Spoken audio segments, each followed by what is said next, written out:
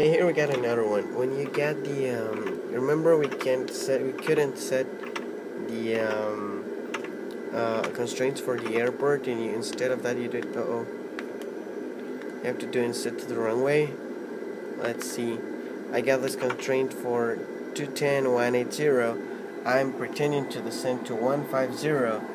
I pushed for unconstrained descent and kept plane kept uh, locked there with 183 so I'll have to make the descent with open descent to make sure planes go down and I will try to set higher speed to this to, to make the plane to look for that speed so I will have a higher rate of descent right?